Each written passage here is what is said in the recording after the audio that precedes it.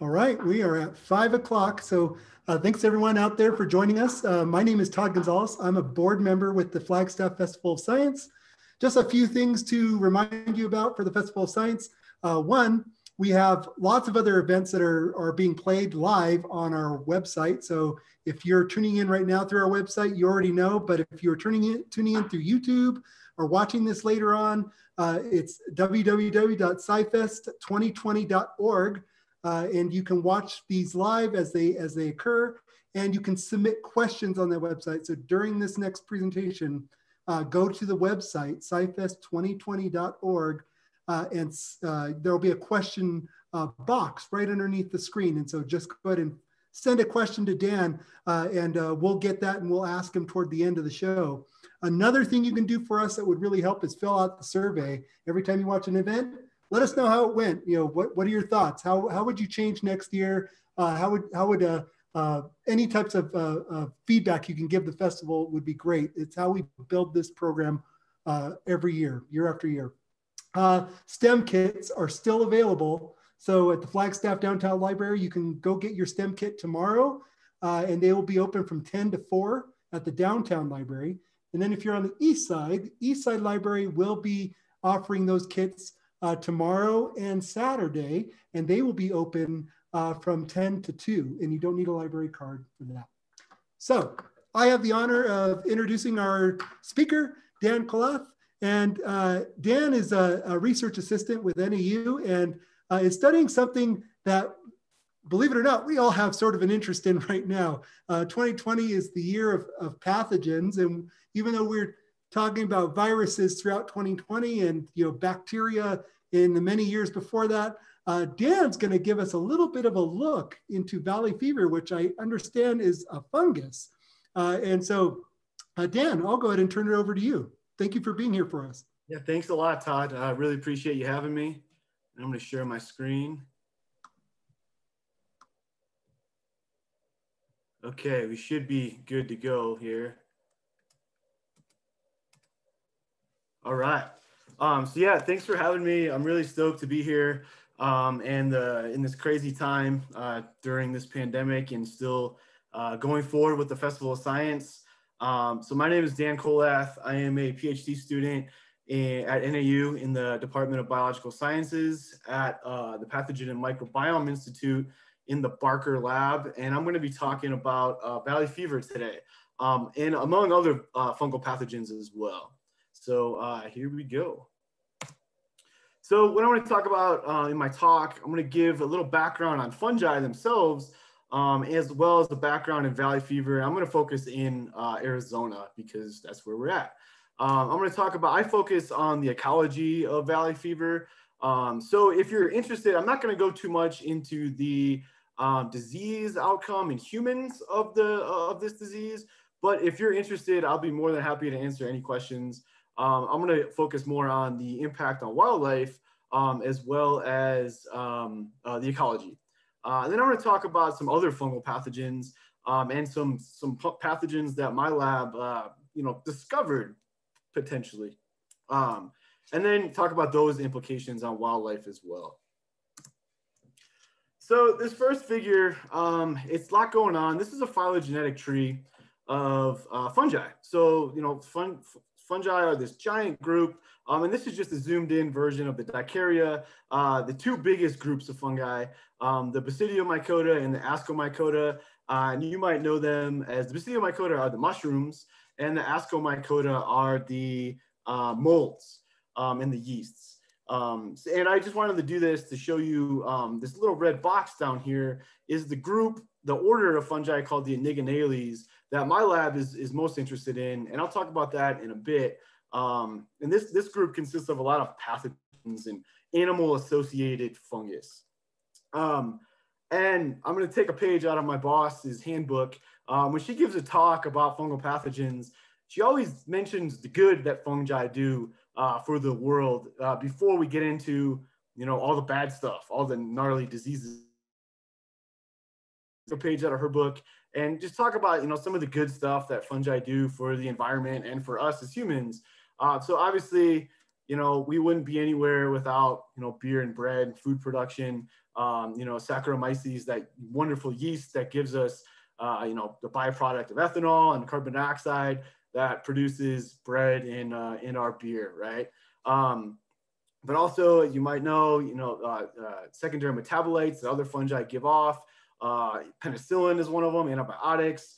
Um, and fungi are, are, ecologically very important, right? We consider them a keystone species. They're, you know, in top, the, the, the most important decomposers in many environments. Um, but there's also the bad. And I'm, unfortunately, my talk is gonna be focused on the bad. Uh, so some of the bad stuff that fungi do, you know, food spoilage, you leave a piece of fruit out and uh, it goes bad. You see a white fluffy mold on, on the fruit um, so, you know, it's spoiled. Um, allergies are another one. So there's, you know, millions of fungal spores in the air floating around in our house and dust. And, you know, if you are sensitive to those spores and you, you develop an immune response, you know, that's where we get some allergies from, uh, from, from fungi. Um, and the baddest of the bad, the pathogens, right? So fungi uh, uh, parasitize plants and animals. And I'm going to be focusing on uh, the animal pathogens in this talk. So I just want to give a shout out because in Todd said it best, um, we don't really think about fungi uh, that much besides those of us who study it. Uh, you know, if you ever take taken a microbiology class, you, you, you might have just focused on bacteria and maybe, you know, viruses, but fungi tend to get overlooked. Um, and I just wanted to, you know, get a slide in here that shows the importance of studying fungi. And I'm just going to, you know, just, there's just a couple of reasons. There's obviously many more. Um, but, you know, for the good, you know, biocontrol and bioremediation. So, um, the, you know, we know that there's tons of plastic and pollutants in the environment that are getting pumped in, you know, by human causes. And there's a lot of research being done right now on how to get rid of that by you know, using biological organisms. And fungi are a, you know, a top of the list of organisms to get rid of, you know, oils and plastics in the environment. So you see here to the right, this is a, a electron micrograph of a white rot fungus actually degrading plastic in the environment. So we could use um, fungi as a bioremediation tool, um, as well as biocontrol. So there's people working on fungi uh, to reduce you know, invasive insects that might wipe out crop yields in certain parts of the world, and fungi that uh, uh, parasitize these insects may reduce those insect population and uh, reduce those uh, negative impacts that insects may have. More something that I'm more interested in, and my lab's more interested in, is emerging fungal pathogens. Um, and there's, there's, this is just one example of an emerging fungal pathogen.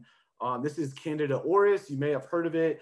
It's you know it's, it's this fungus that that emerged in Asia a few years ago and spread rapidly throughout the world and it's it's naturally antifungal resistant and it's it's a nosocomial infection so an infection that is acquired in a hospital setting and could wreak havoc on people that are especially immunocompromised so they get these really nasty infections um, but this isn't the only emerging fungal pathogen i'll get into some in this talk as well uh, valley fever is considered an emerging fungal pathogen as well so I also just wanted to give a shout out to NAU. Um, I just wanted to, you know, there's, and forgive me if anyone's from NAU and I missed you on this list, but uh, I just wanted to, you know, give a shout out to people studying fungi, fungi at NAU.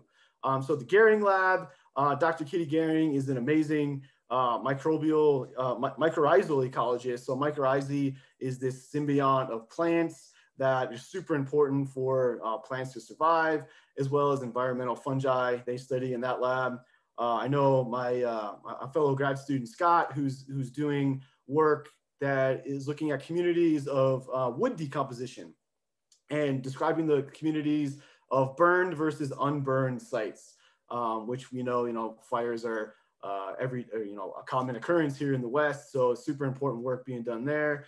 Uh, the Foster Lab, there, you know, Dr. Foster is a expert on the white nose syndrome, which I'll talk about a little bit later. It's a really nasty pathogen of bats.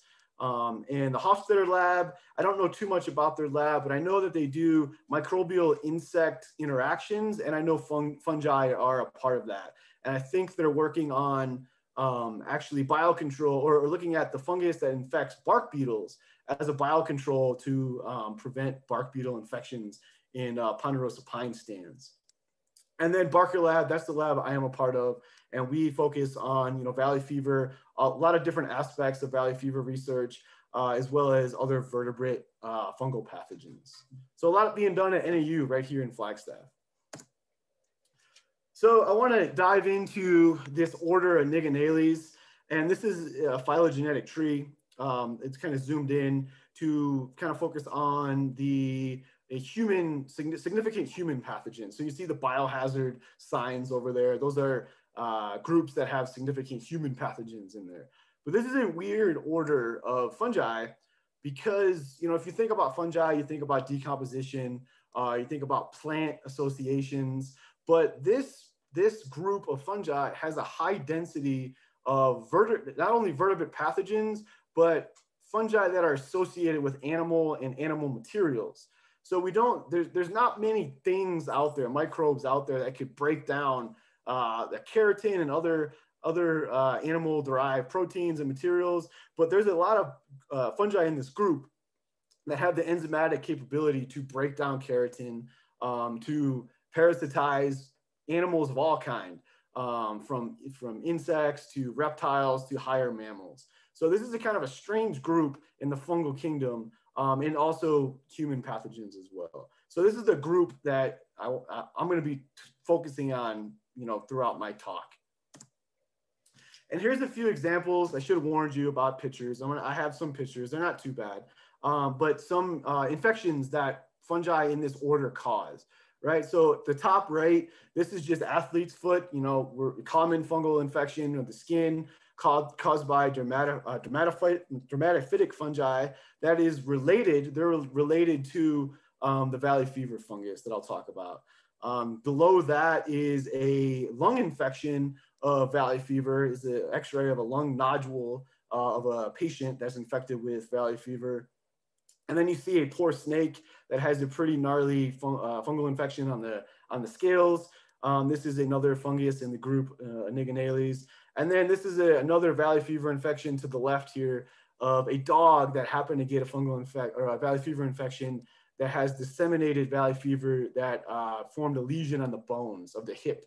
Um, so pretty gnarly stuff here in the order Anigonales. So throughout the order, there is, so, so these fungi are environmental fungi. They're free living. They have an environmental component of their life cycle. Um, but they also have a different morphology when they infect the host, right? We call that dimorphism. And these are just a few examples, and these are uh, significant human pathogens. Blastomyces is common in the, uh, the, the, Midwestern United States. Of course, coccidioides causes valley fever, common in the Southwest and among others. But you can see they have an environmental component as well as a host component. Um, and the environmental component is usually a common morphology. It's called mycelia. It's the free living, uh, vegetative, growing state of fungi. They grow on a substrate, and this is where they get their nutrients, they eat. And then when they infect a host, um, by a few different means, there's a morphological shift that allows them to be a better pathogen, right? So at the top and at the bottom, you see a few examples of yeast, uh, yeast cells that are uh, the pathogenic state. And then you have this coccidioides. So this is the valley fever fungus.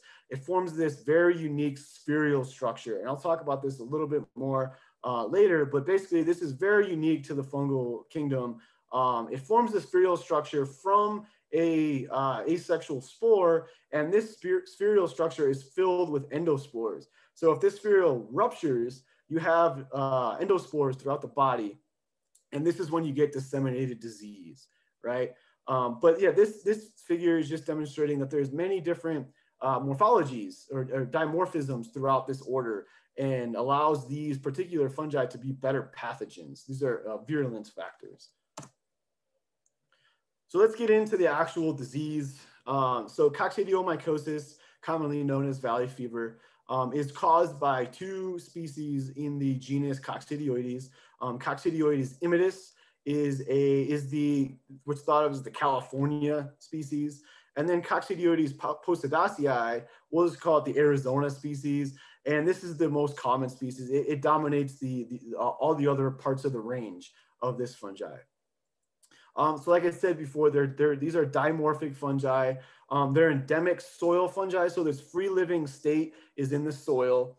Um, and it's endemic, meaning it's, you know, it's endemic to the Southwest, but you know, this meaning it's lived here for a long time. It evolved here, right?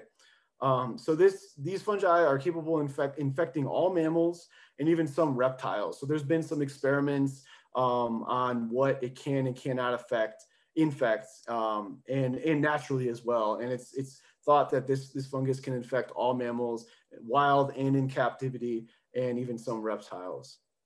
Um, the ecology, which, which I'm focused on, is not well described.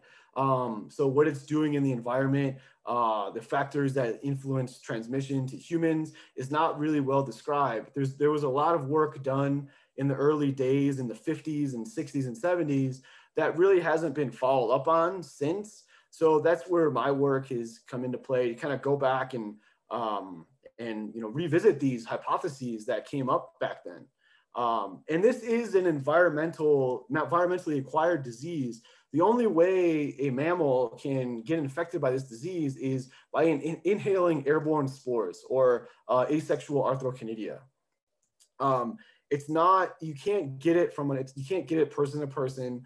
Um, it, it's very, very rare. Someone would have to have a open cut and then, you know, the other two people would have open cuts. So it's very rare to, to have person to person transmission. So it is an environmentally acquired disease. And this is uh, uh, microscopy of the, the infectious propagule. It's called an arthrochonidia or an asexual spore. And these barrel-like structures will get dispersed via the, the wind and in the air, and some unlucky mammal will inhale them, and that's when uh, infection takes place. So this is a map of the CDC, uh, the CDC put out, and this is the map of the endemic areas for valley fever. And you can see, you know, they have different shades of green uh, for highly endemic, established endemic, and suspected endemic. Um, so it's, you know, it's, it's pretty, it's across the Southwest, but as I hope to convince you later in the talk that we need, there's a need to update this map. Um, it might not be as accurate as, you know, when it was first made, right? So Southwestern United States down into Mexico. And it's also, I didn't show it here, but also parts of South America as well.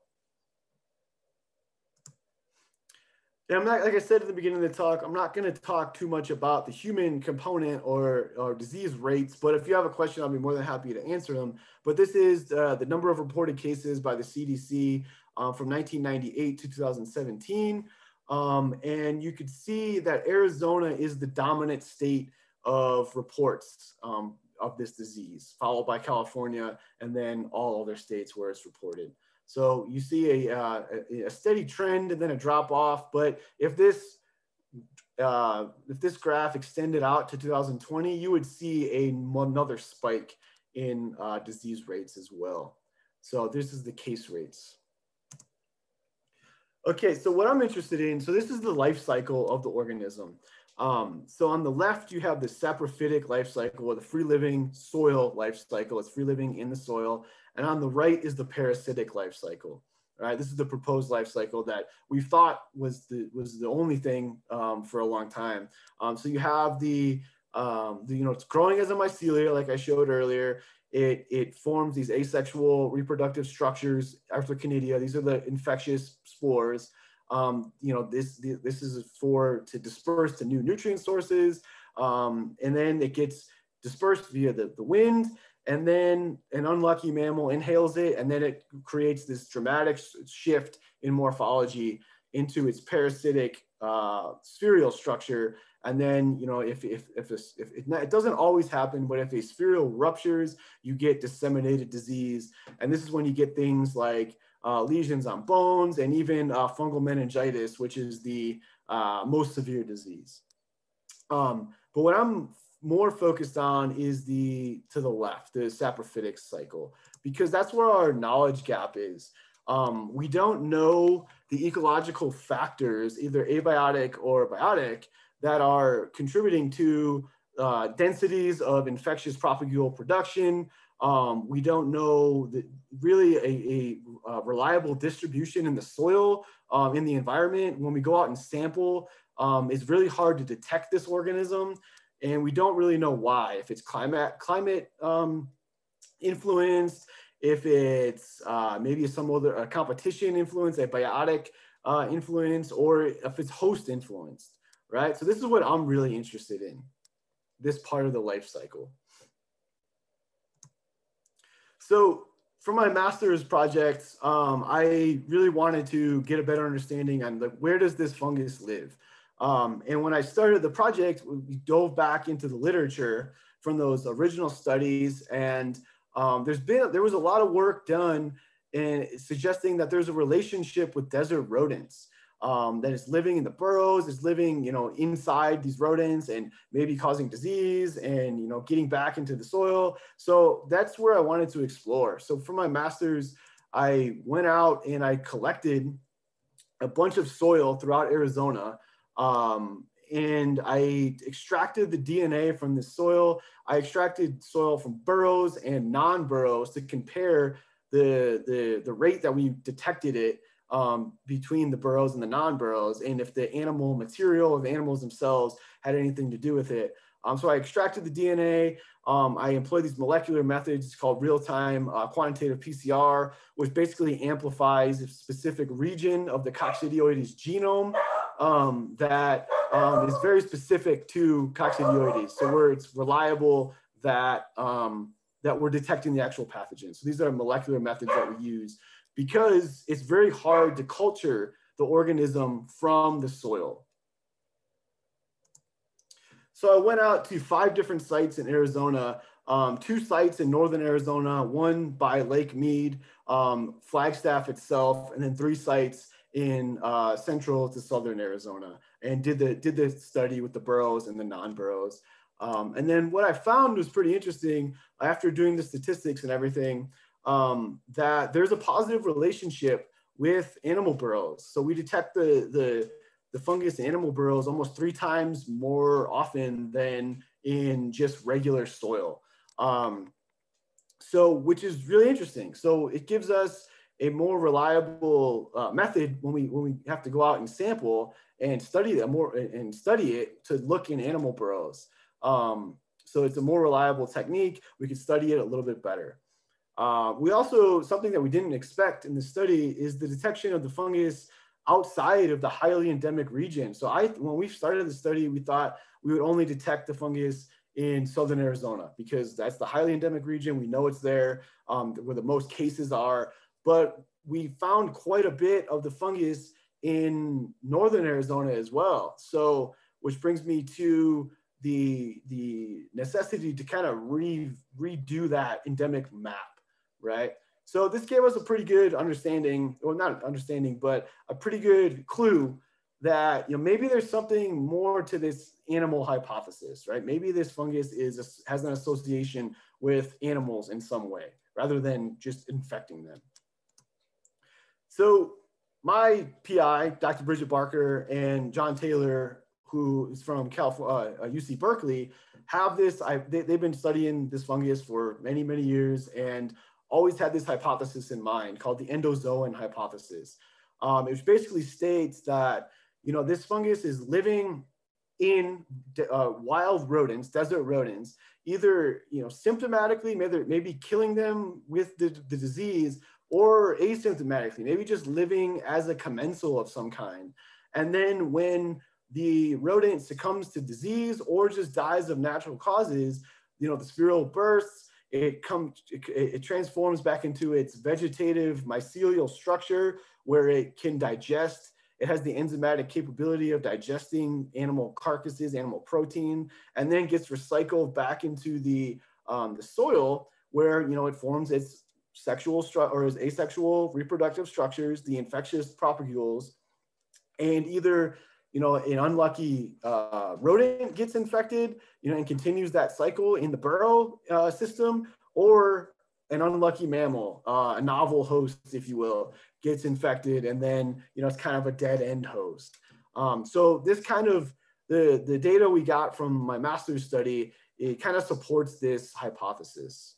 Um, and so, and then also what I said before is there may be a need to update this endemic region. Um, but to me, it just says that, you know, we don't know a lot about where this the distribution of this fungus in the soil in the natural environment. So we need more extensive sampling throughout Arizona and the Southwest, and I and I would say even the West itself, um, because there's a lot of gaps in the knowledge. Then you know I'm driving through uh, you know Moab, Utah, and I know that there's no cases there, but you know it looks it looks like a you know a prime habitat for this fungus to live. So just more extensive sampling. Uh, we need more researchers to get out there and, and sample the environment as well.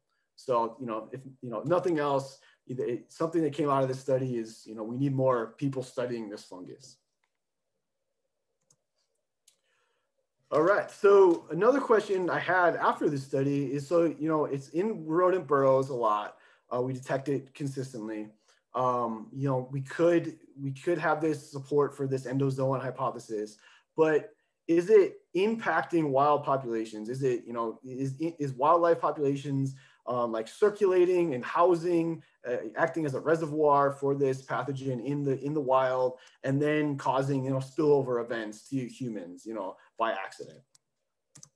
So for my PhD, I am really interested in you know trying to you know chip away at some of these questions. So we have an amazing partnership with AZ Game and Fish some of their retired um, uh, agents are, you know, have been really helpful in uh, trapping and uh, collecting uh, rodent specimens and collecting their lungs specifically because the uh, disease initiates in the lungs. So we get the lungs and I want to investigate, you know, what's the, you know, what's the rate at which we can detect coccidioides, the valley fever pathogen in wild rodent populations, as well as looking at the whole fungal community in the lungs and seeing what else is out there. If there's co-infections with fungi that we don't really understand, we don't really have, have described, and possible human pathogens. Um, so amplicon sequencing is a way to do that. Um, this is a molecular method where you amplify DNA markers, you know, extract DNA from the lungs, you amplify DNA markers, and you know, with some finagling and bioinformatics, uh, you get a sense of what the, the fungal community is in these lungs. Um, and this is and another important thing to come out to, I would like to come out of this is looking at co-infections with other microbes and other pathogens. Um, so if we look at things like bacteria and viruses um, and protozoans, we could get a sense of what pathogens are circulating in wild rodent populations and, uh, and have the possibility to cause a spillover event into humans. Um, and I don't know if you heard of the COVID 19 pandemic, but that's basically how it started, right? So, uh, looking at pathogens circulating in wild populations is a great way to uh, model and predict uh, spillover events. And then that might, you know, chip away at some of these answers that you know are are wild rodents and animals really reservoirs for this pathogen, right? So um, if they are, if the rodents are uh, housing the, the pathogen in the environment and it's, you know, it's, it's, it's, you know, certain hot spots or um, spots where there's a high density of the pathogen might be, you know, a dangerous spot for a human. Uh, or certain times of year, if there's a climatic component, um, might be, you know, there, we do see a, um, a seasonal shift in cases. So maybe that has to do with the animals, right? And then another aspect of my research is, is using statistics and mathematical models to model the organism and predict uh, like when it's going to, when outbreaks are going to occur. And if we start to answer these questions of animal reservoirs, and if there is an animal reservoir, we have to take into the account the, the animal uh, aspects as well. So things like the vegetation, so things that they live under, things they eat, um, climate. We know the climate, you know, influences animal uh, animal behavior and animal, you know, densities and stuff like that. And then animal behavior as well. If there's certain times where they aggregate to mate, or there's certain times where they, you know, certain times a year where there's die-offs or whatever um, that might influence more infectious propagules. Um, we have to take that in consideration into our models. So things that we're working on uh, for the future. So I'm going to shift gears a little bit and talk away from valley fever and talk about um, other fungal pathogens to kind of allude to um, my last part of the talk, which is um, some Anigonalian fungi that we came across and almost a side project in our lab that turned out to be really interesting. Um, so that has to do with conservation of wild populations and fungal pathogens. And I just wanted to start off this part of the talk by um, giving some examples of different other fungal pathogens that influence uh, wild populations. So white nose syndrome, I mentioned earlier in the talk, is a devastating fungal disease that infects bats around the world. And it's really taking a huge toll on bat populations. Um, it's, it's a very nasty disease. The same with the chytridiomycosis, the number two down. Um, it's, it's, it infects amphibian populations. It's a very gnarly skin disease of amphibians that's really causing a massive decline in amphibian populations around the world. Um, this snake fungus, which not a lot is known about it, it's kind of a new emerging disease. Um, it, it, it's a skin disease as well of, of snakes and we don't really know too much about it. So it potentially could be uh, have some conservation impacts as well. And the Onygenales, so I'm gonna just call them the Onygenales fungus for now, um, uh, possibly causing impacts in uh, the black-footed ferret reintroduction process in Aubrey Valley, Arizona, which I'm gonna talk about next. So here's a couple of examples. So here's white nose fungus uh, to the to the top left here. Um, so it gets its name because it infects the area around the nose of the bats. Um, so pretty pretty nasty. Um, the chytrids. This poor frog is infested with chytrid fungus, and uh, it's not not looking good. And this schematic down here, this is a graph from a paper in 2020. Um, there's a lot going on, but basically the takeaway I wanted to get from this from this graph is um, the decline of amphibian populations per country.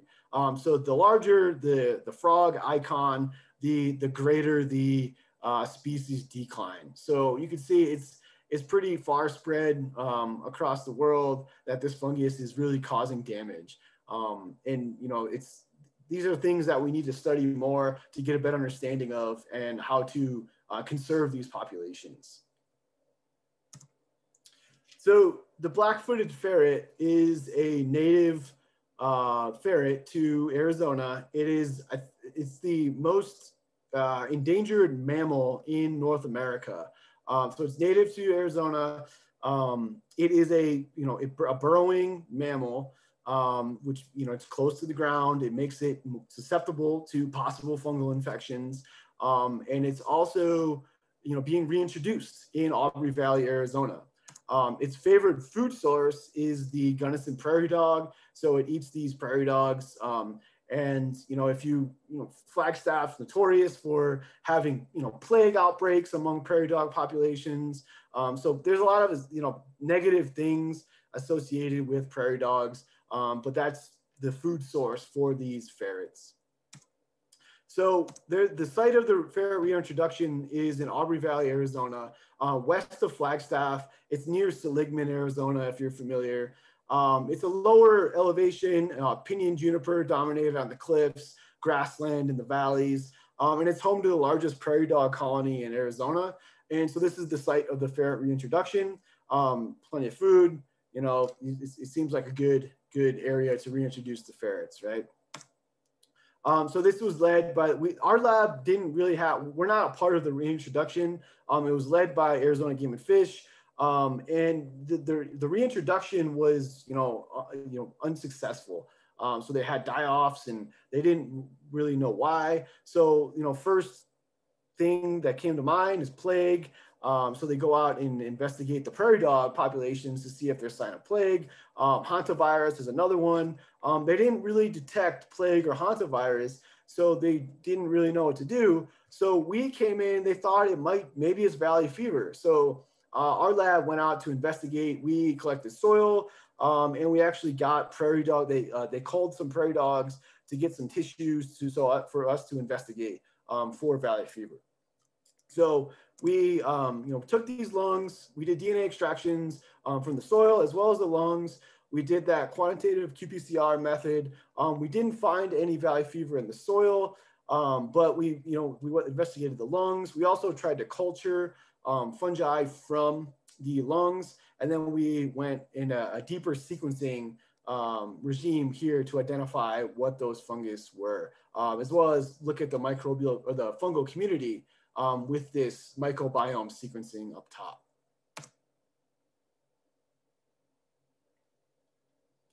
So here is a picture of all the different fungi that we cultured from these lungs. Um, and to me, this is just really astounding that we got um, all these different, you know, fungi living in the lungs um, of prairie dogs in Aubrey Valley, Arizona. Um, it's really cool. There's a lot of diversity here. Um, and people who study Onygenales or valley fever, you know, these are highly suspect. They look, they look like what you would see if you were culturing valley fever and another Onygenales, but a lot of fungi grow white fluffy molds, right? So we have to go uh, use the molecular methods to identify. So this is the community, uh, the microbiome sequencing of the lungs. And we actually, so this is like base level, the first pass at what's there. Um, and we actually detected some fungi that are, you know, either related or are coccidioides, right? And some other human and mammal uh, relevant fungal pathogens, right? So you see that here. Um, so pretty interesting that we see these, these, these Onygenalean fungi coming up in prairie dog lungs where these ferrets are being reintroduced and in contact with the soil, okay?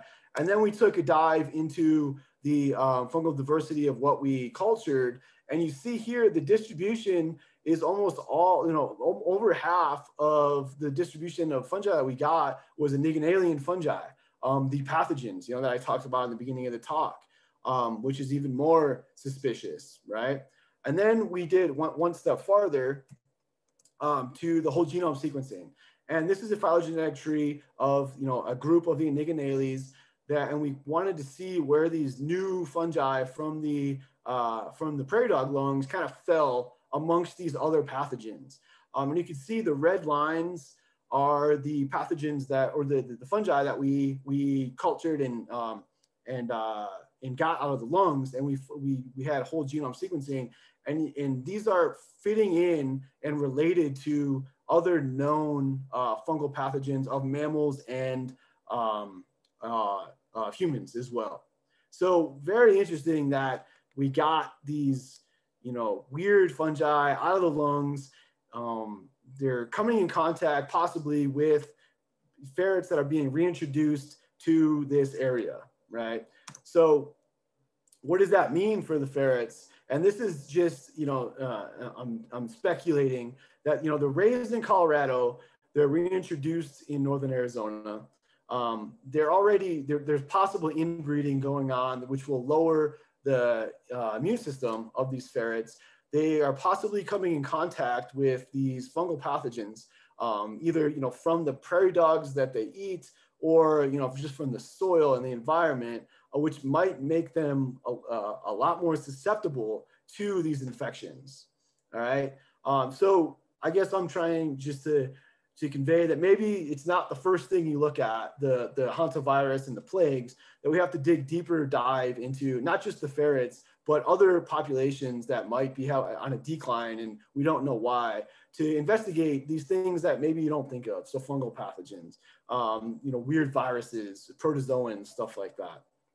So that was a kind of cool side project that we kind of just fell into and um, our postdoc, Marcus Teixeira, who's back in Brazil now, is the lead on that. And we should be publishing it soon. Um, it's really, really cool project that I'm glad we, we did, and hopefully it helps the conservation aspect. So just to wrap up the talk, um, so the conclusions for my talk, so coccidioides, the valley fever fungus, um, you know, potentially has an association with animals and could be potentially impacting wild populations in Arizona. Um, coccidioides is not alone out there. It's not the only fungal pathogen. Uh, we have a lot that we don't know and we should investigate and try to get more people to study. Um, and yeah, and this possibly could have a conservation impact on, you know, not just black-footed ferrets, but other populations that could be on the decline that are susceptible to, or possibly susceptible to these um, fungal pathogens and other pathogens as well. Uh, so that's my talk. I'm going to wrap it up. I really appreciate everyone uh, tuning in. And uh, I'd like to thank my lab, my entire lab, my, of course, my PI, Bridget Barker, um, and Game and Fish folks, and the Flagstaff Festival of Science folks for having me here. It was super fun. Um, I know it's a really weird time and, you know, I'm in shorts right now and at my house, but uh, I'm still glad we got to do this.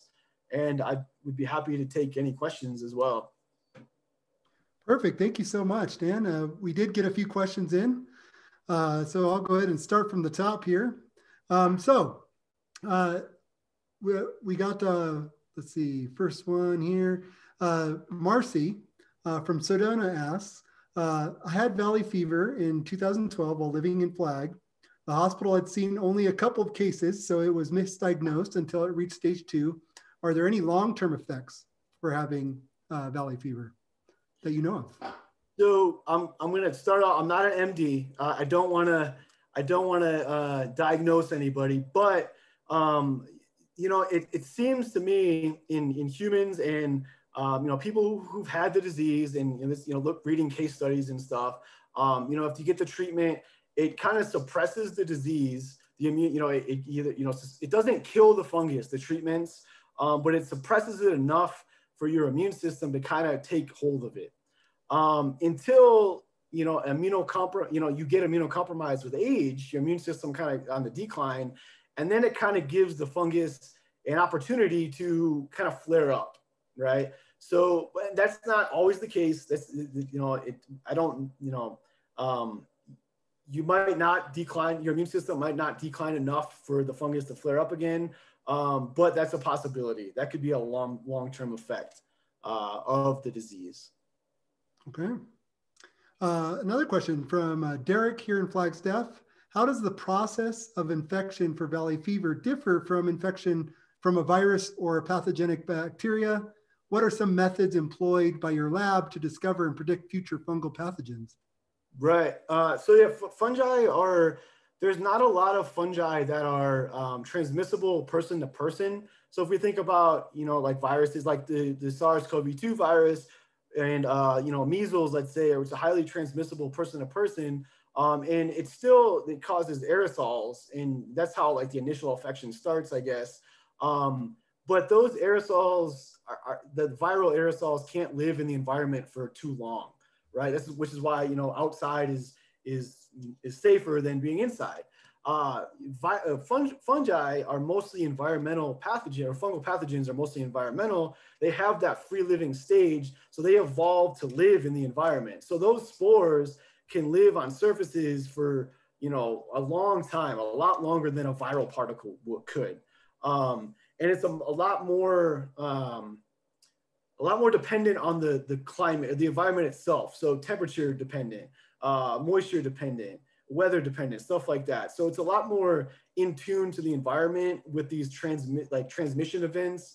Like if we get like valley fever outbreaks, it could be because there's a dust storm, um, stuff like that. And uh, I guess methods for our lab. Um, so we are trying to, we've been trying to work with different groups that um, monitor dust in, in highly endemic areas of, uh, of um, of Tucson and Phoenix, stuff like that. So dust collectors and and sample to see if we could detect the pathogen um, and see different times of years. Maybe there's different uh, times of years where you get more dust and, and I mean more uh, pathogen and least pathogen. Um, so that's one way with these molecular methods. And then just like I said in my talk, going out and sampling different environments, soil and um, and, and rodent tissue and, and animal tissue to see what's out there. I think that's, in my opinion, that's the, the greatest way is to see what pathogens, not just valley fever, but other fungal pathogens are out there and could potentially spill over to humans, potentially. All right. Uh, Derek again asks uh, from Flagstaff, uh, what areas, uh, climate, particularly in uh, South America, are the optimal, op optimal conditions for valley fever to replicate? Does the climate itself alter growth or is it more um, more the type of, of rodent that is pre prevalent in the area? That's a great question. Um, the, the, the short answer is we don't really know, but we, we do know that it's found in the drier areas of uh, South America, drier areas of Brazil and Venezuela, um, the more deserty areas, um, you know, similar to the Southwest United States. Um, uh, I think the second part of the question was, you know, climatic variables that um, influence replication. We, we don't know. Um, I, I'm doing some of this work, and this is preliminary, that suggests that um, you know moisture is a big part of it. Um, you know, it gets you know fungi need a little bit of moisture to kind of get going, and then it kind of dries out, and then it influences uh, sporulation. Um, but the, the short answer is we don't really know. We don't have conclusive evidence of what exact factors influence uh, sporulation and in, in uh, like densities of infectious propagules in the environment but moisture and temperature seem to be playing a role, but we don't know how yet. I hope that answers the question. Okay. Um, Virginia from Flagstaff asks, uh, I first heard about valley fever in geology class. Apparently this fungus lives in the soil and right after the 1994 earthquake the Northridge, in Northridge, California, there was a spike in cases associated with dispersal of dust clouds that were kicked up from the earthquake uh, induced by landslides. Uh, there's not uh, that many earthquakes and landslides in Arizona. So how does the fungus spread around AZ? Uh, dust storms, how, how long can it survive in a dust cloud? That's another great question. And I'll start off by saying we don't know, but you are correct. That, so that there's a lot of good case studies on that earthquake and valley fever outbreaks after that earthquake. Um, and yeah, it, you know, you would think, you know, earthquakes, you know, disturbing the soil, um, and it's going to create a lot of debris and dust in the air, which is going to expose humans to more dust particles and potentially like dormant valley fever living, you know, somewhere where it might not have been disturbed. Um, in Arizona, so the, the other question, you know, she got diagnosed in Flagstaff, I think she said.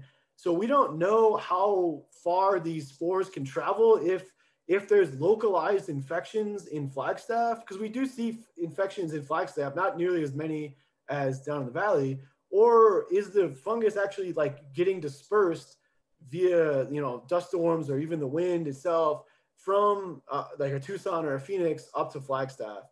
Um, there is other studies on different fungi that show that fungus fungi could survive traveling or getting dispersed like thousands of miles um, like from Africa to Italy and and establishing in an environment. Um, so there is evidence that that could be the case, um, but for valley fever, we we don't know. Um, it's something that people are trying to work on. There's there's more uh, like dust scientists that are getting involved in valley fever research that have methods that we don't know how to do to track dust and you know the physics of dust. So hopefully those answers will come soon but um, we don't know exactly that either. There's a lot of we don't knows in, in Valley Fever research. Yeah, it sounds like it sounds like it, it, there's a lot of uh, things that could be studied. Yeah. Um, Virginia again asks, uh, you know, um, great presentation. She says, uh, is there a hypothesis or any research into why people are getting so sick in southern Arizona, but not so much in northern Arizona, despite finding it here? That's a great question as well. Um, I think the, the, the, the I guess the, the, the, uh, the obvious answer is that there's more people down in the Valley, Tucson, Phoenix area. So there's more just cases and more people reporting it. Um, I think it's probably a little bit of that. There's more people, more people getting diagnosed, more doctors know how knowing how to diagnose it because it's an endemic, highly endemic area. Um, but also, I think I would hypothesize that if you know we, we find it in northern Arizona, it's possible that this climate, um, the fungus evolved to be a little less virulent, or maybe it just has a more host, animal host that it doesn't get transmitted to humans as much. Um, it could be, it's probably a, a, mix of a bunch of factors.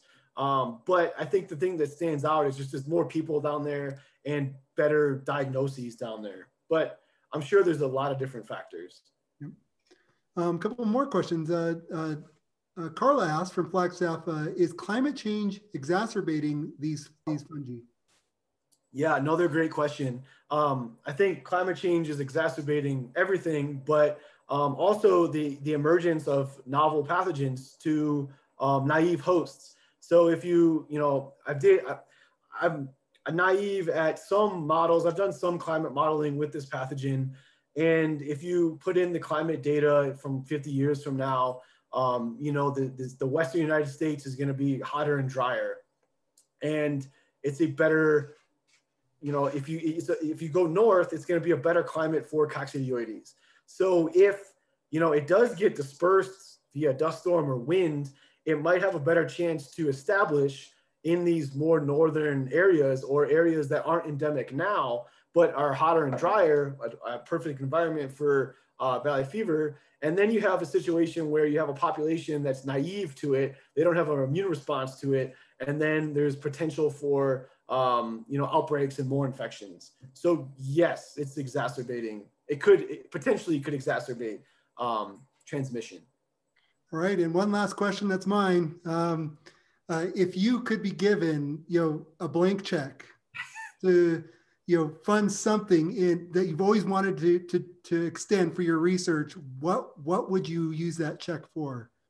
Um, yeah, that's a great question. Um, I would love to, you know, travel, you know, I guess let's just keep it to the Southwest, travel the Southwest and do extensive sampling on the soil, um, you know, throughout the region and uh, animal populations as well. So take blood um, and tissues to see not only valley fever um, uh, fluctuate or uh, you know, circulation, but other pathogens. So just look for you know any novel viruses, you know coronaviruses, you know anything that could spill over, any novel bacteria. Um, yeah, just like do a big old road trip and and sample for fungal pathogens and all sorts of pathogens.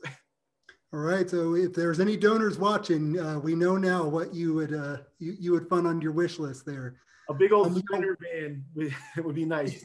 yeah. Uh, we have one last question that came in just now um, from Sue in Scottsdale. Is valley fever found in mammal fecal matter? That's a great question. Um, so I've never detected it, and I've tried. Um, there's been some evidence in in in detecting it from fecal matter. Uh, I think, in, uh, and I don't know the study. I think someone from South America detected it in bat guano um, in uh, Brazil or Argentina. I forget where it was, um, but I, have never been able to detect it. Um, we don't know if it could, if it's in the lungs and it disseminates, if it could passage the gut um, and, and survive. Um, so we don't know. Uh, there's evidence, but I've never been able to detect it. But again, I've never really sampled that hard, so it could it could be you know it could be there, and I just never uh, had an opportunity to find it. Great. Well, Dan, thank you so much uh, for joining us and sharing your uh, passion uh, and your career with us. And so um, uh, thank you. And, and, you know, hopefully we'll see you next year when maybe all of this is better and we can have a in, in-person presentation from you and see how things are going. Yeah, that would be great. Fever. That would be great. Uh, thank you so much for having me. This was a lot of fun. All right. And thank you to all you uh, people watching. And remember, fill out the survey link. If you really enjoyed this, Ben, or have any feedback, uh, fill out that survey for us on our website, scifest2020.org. And uh, we'll see you soon. Thanks, guys. Thanks, Todd.